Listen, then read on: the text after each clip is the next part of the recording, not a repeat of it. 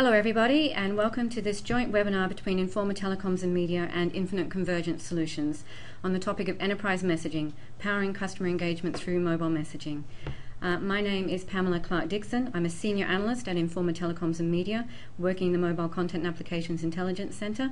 Joining me today are John Puma, Vice President of Product Management, and Miles Norton, Regional Vice President of Sales Americas at Infinite Convergence. Okay, here's the overview of our agenda for today. I'll start with a brief introduction in which I'll also ask for your participation in a short poll. I'll then move on to setting enterprise messaging in the context of mobile messaging before examining some use case scenarios and benefits of enterprise mobile messaging by industry vertical.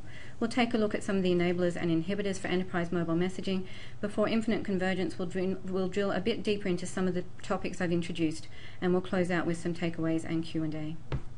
This webinar aims to answer the following questions. What is mobile messaging in the context of the enterprise? As an enterprise, why should I use it?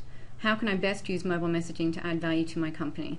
And what do I need to know to ensure the best possible outcome when adding mobile messaging to my business processes or to my customer facing communications?